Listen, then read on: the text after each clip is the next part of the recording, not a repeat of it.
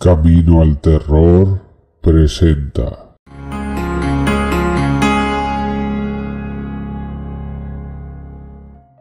No hay duda, los imponentes castillos de Europa son una belleza. Te transportan a otra época, una con nobles, sirvientes, amas de llaves y damas de compañía. Es como si el tiempo se detuviera mientras te conviertes en parte del magnífico estilo de vida real. Las vidas de los nobles son fascinantes, pero tras cruzar el umbral hacia las secciones más bajas de estos majestuosos edificios, te darás una idea de un universo diferente en el que tienen mucha importancia el trabajo pesado y la vida de los sirvientes. Si pasas el tiempo suficiente en estos castillos, una historia comenzará a desarrollarse ante tus ojos. Puede ser una que no tuvo un final feliz o tal vez es un final envuelto en secretismo. La historia, la leyenda y la ficción rondan estas cinco fortalezas medievales que se encuentran en Europa y de las que te voy a hablar en este vídeo. Ya sea que sus paredes guarden los secretos de un pasado tenebroso o simplemente hayan asumido una espeluznante reputación de la cultura popular, un paseo por cualquiera de estos castillos puede ofrecer a los buscadores de emociones una experiencia escalofriante. Comenzamos. Construida en el año 1300, la fortaleza de Akershus ha sobrevivido a varias invasiones y a la ocupación nazi. Hoy alberga varios museos, sigue siendo una base militar activa y alberga una variedad de eventos. También es famosa por ser uno de los lugares más embrujados de Noruega y con razón. De hecho, la fortaleza contiene tantos fantasmas que es difícil distinguir una historia. Se cree que muchos de ellos son prisioneros que pasaron sus últimos días encerrados dentro de los muros del castillo, y cuyos susurros y ruidos de cadenas todavía se escuchan resonando en los pasillos. Otra historia nos traslada a un duro invierno en la década de 1370. Había poca comida en la fortaleza de Akershus. Debía haber sido tan malo que una de las doncellas de la reina Margarita murió de hambre. Desde entonces, la chica muerta ha sido observada en Margaret's Hall, dentro de la fortaleza. Se va a poner una bata larga y cuando se aparece a los que están hospedados en una de las habitaciones del castillo, no tiene cara, solo una superficie brillante y ovalada. Ella se hace denominar Mantelgeisten. Pero no solo espectros con apariencia humana se dejan ver en Akershus. También un perro fantasma llamado Malkanisen, el perro demonio que vigila las puertas. Se dice que si se acerca a ti, lo mejor es poner en orden tus asuntos, ya que todos los que se topen con él mueren en tres meses. También ha habido avistamientos de Night Pirates, mujeres en llamas que eran visibles antes de cualquier incendio en el fuerte. Las Night Pirates son hembras del tamaño de un bebé, de quienes se dice que tienen una sonrisa fea y espantosa. Muchos han sentido también que alguien respira detrás de ellos cuando cruzan el puente levadizo que conduce a la fortaleza. Podría ser el espíritu del viejo guardián. Otra historia de un soldado borracho sueco cabalgando solo contra las paredes de la fortaleza, maldiciendo y gritando que iba a conquistar Noruega. Los soldados noruegos le dispararon a él y a su caballo, y el fantasma del caballo ha asustado a muchos desde entonces.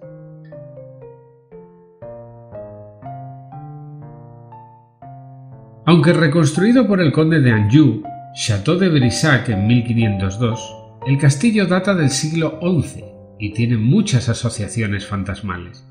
En el siglo XV se cree que el noble Jacques de Bresse atrapó a su esposa en el acto de adulterio y la asesinó a ella y a su amante con una espada. Se dice que los visitantes todavía escuchan los ecos de sus gritos hasta el día de hoy. Una invitada fantasmal habitual del castillo es la Dame Verte, también conocida como la Dama Verde, que es una invitada tan persistente que los actuales propietarios se han acostumbrado a ella.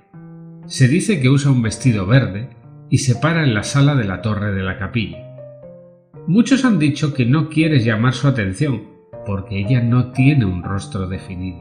Sí, al igual que en tus peores pesadillas, su cara tiene solo tres agujeros negros que giran donde deberían estar sus ojos y su nariz. y su fantasma como un cadáver gime regularmente alrededor del castillo en la oscuridad de la noche.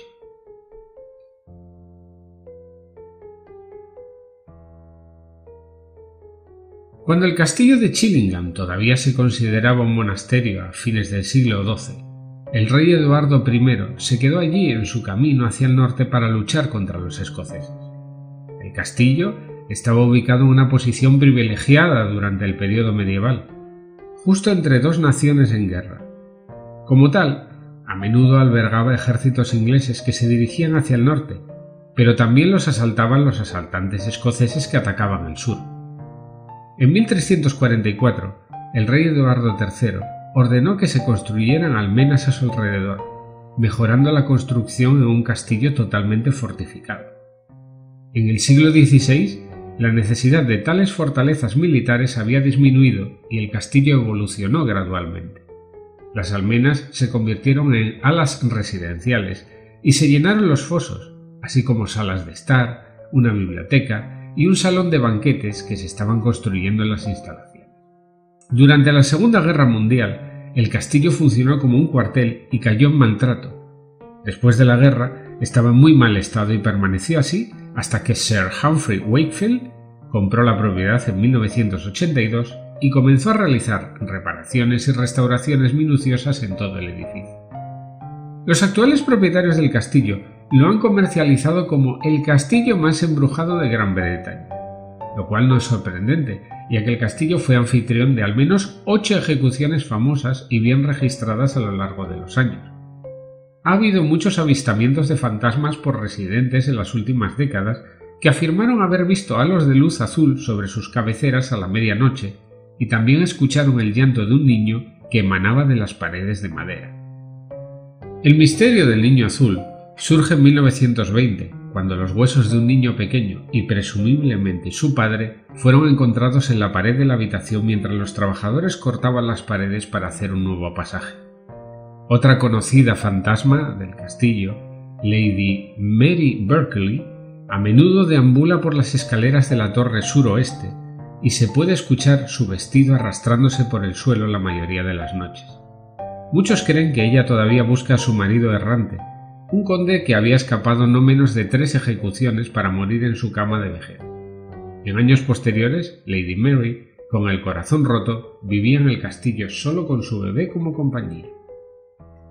Otro fantasma famoso es el de John Sage. Sage fue el torturador del castillo y se cree que torturaba hasta 50 enemigos por semana.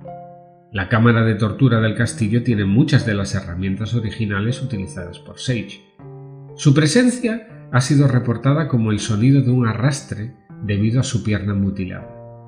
También está conectado con la sensación de sentirse observado o empujado por una fuerza extracorpórea, y un hedor sucio hacen creer que Sage todavía deambula por el castillo buscando a su próxima víctima. Informes de actividad poltergeist, avistamientos, susurros y gritos han sido reportados en varias salas del castillo de Chillingham, el castillo ha aparecido en Most Haunted, Ghost Hunters International y The World's Scariest Places, y tiene fama de ser el castillo más embrujado de Gran Bretaña.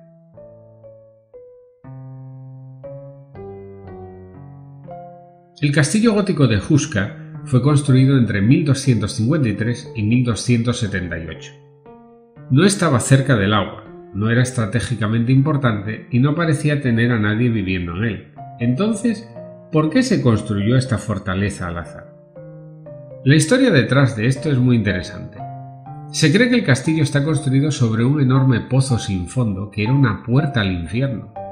La leyenda dice que cuando se suponía que se construiría el castillo, el rey Otócar II de Bohemia ofreció un perdón a los prisioneros condenados que aceptaron bajar al pozo e informar lo que vieron. Se dice que el primer prisionero comenzó a gritar unos segundos más tarde, y cuando detuvieron su descenso y lo subieron, había envejecido unos 30 años. Los lugareños creían que después del atardecer de este misterioso pozo salían criaturas terribles, aladas y negras, que eran mitad humanas y mitad animales, y que deambulaban por todo el país. Mientras, las personas que trabajaban dentro del castillo de Juska a menudo afirmaban que escuchaban sonidos extraños en el piso inferior del edificio, y muchas veces los gritos también eran escuchados por las personas que visitaban el lugar.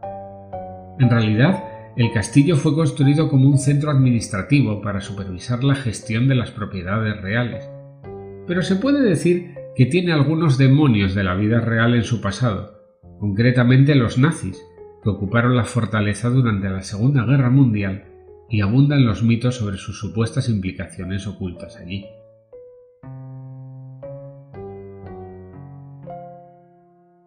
Los orígenes del castillo histórico son bastante ambiguos, más bien aptos para un lugar fantasmal. Pero la mayoría de los historiadores creen que la fortaleza principal, como lo es ahora, ha estado en pie durante casi 800 años. Fue construido sobre un sitio preexistente que fue utilizado por los druidas con fines ceremoniales desde el año 500 después de Cristo. El castillo Lip ganó gran atención en todo el mundo debido a su reputación de albergar espíritus y ha aparecido en varios espectáculos de caza de fantasmas y paranormales. Su historia está manchada de sangre y muerte e incluso la leyenda de sus comienzos está envuelta en una capa de lo macabro. El castillo de Lip fue originalmente llamado Leim Ui Vanain, que significa Salto de los Obanons. Los Obanons eran un clan rico de Tipperary, y dos hermanos comenzaron a pelear por el gobierno de la familia. Para determinar quién sería el jefe, los hermanos se desafiaron entre sí para saltar de una roca donde se construiría el castillo. Quien sobreviviera al salto no solo gobernaría el clan, sino que también gobernaría el posible castillo. Sin embargo, los O'Bannon no serían gobernantes por mucho tiempo. Estaban subordinados al clan O'Carroll, que era una familia viciosa y dominante, Estaban alimentados por la avaricia y el poder y habían ganado notoriedad por ser un grupo violento y feroz.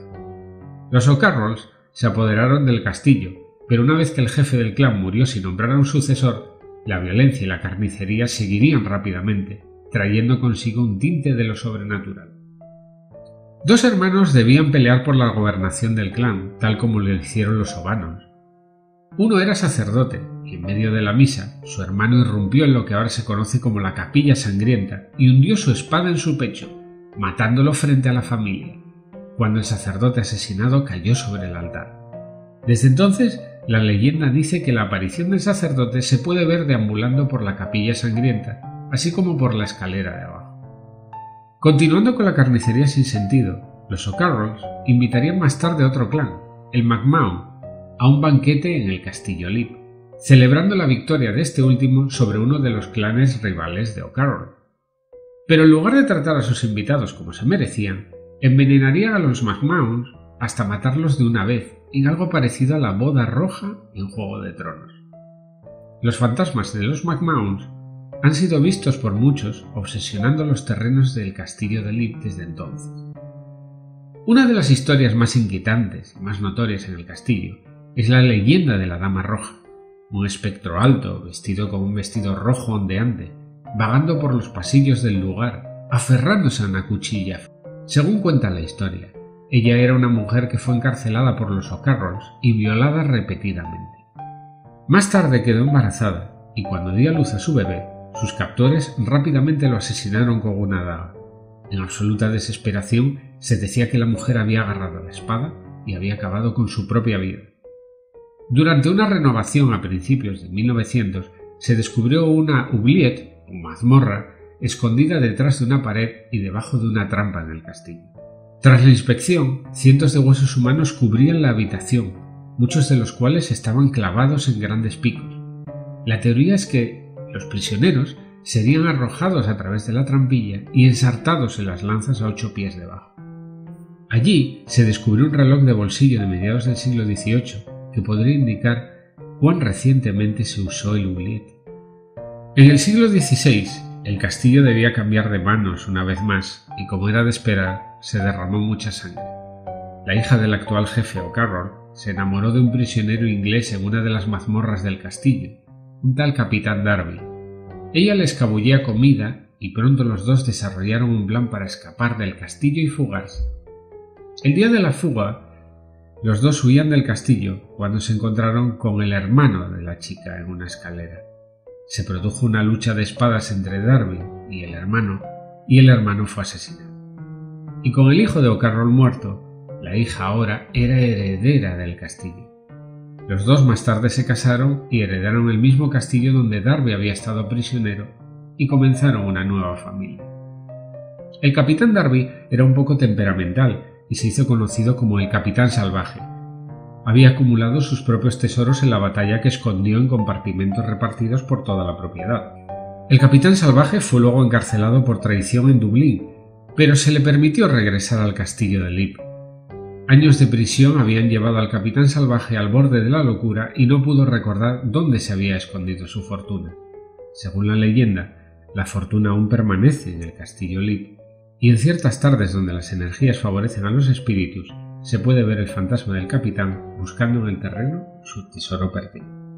Los fantasmas de dos niñas, Emily y Charlotte, también se pueden ver a menudo jugando en el salón principal de la casa. Se dice que vivieron en la finca durante el siglo XVII. Emily murió a los 11 años después de caer de las almenas del castillo. Hoy en día, todavía hay avistamientos de una niña que cae de sus grandes alturas solo para desaparecer antes de llegar al suelo. Se ve también a otra niña, Charlotte, arrastrando una pierna deformada. Los Darby abandonaron el castillo en la década de 1920 durante la Guerra Civil Irlandesa que siguió poco después de la Guerra de Independencia Irlandesa de Inglaterra. Dado que los Darby eran una familia inglesa, el castillo se convirtió en un símbolo de opresión y fue incendiado, bombardeado y saqueado por el IRA. A partir de ahí, el castillo permaneció inactivo hasta que fue comprado en la década de los 70 por un historiador australiano, Peter Bartlett, que resultó ser un antepasado del clan O'Bannon. Durante años, se dedicó a restaurar el castillo y durante gran parte de ese trabajo afirma tener experiencia en una serie de acontecimientos sobrenaturales y actividad poltergeist. Si te ha gustado el vídeo, dale like y suscríbete para una segunda parte de Castillos Embrujados. Anímate a formar parte del club de los caminantes del terror.